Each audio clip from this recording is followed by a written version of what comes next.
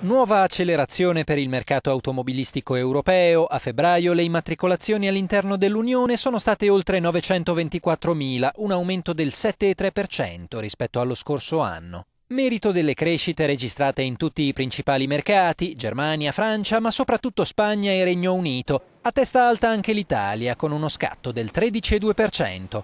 I barlumi di ripresa economica intravisti a inizio anno cominciano a riflettersi anche sulle scelte dei guidatori. Rallentano i brand low cost come Dacia e Skoda, mentre i marchi principali sono in recupero.